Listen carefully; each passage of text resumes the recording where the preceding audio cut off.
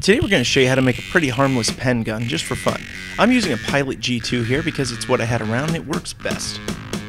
First, disassemble it and get all the mechanical parts out. You might need to poke the backing out with the pen.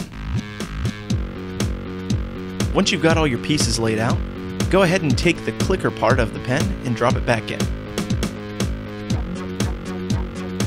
Now grab your spring and drop it in as well you're going to have one leftover plastic piece. Load it up as well. It should look like this. Now comes the hard part. You're going to need to cut the top off of the pen. Get some strong scissors or a really small saw and get through it.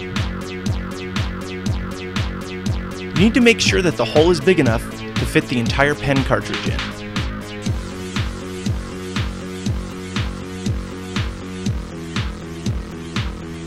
As you can see here, it fits just fine.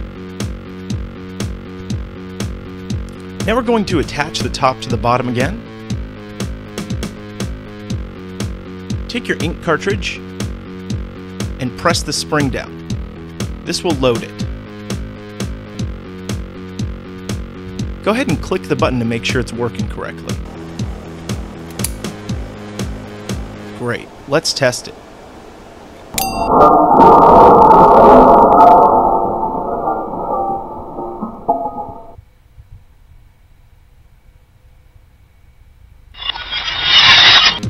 Okay, okay, just kidding. It's not that powerful.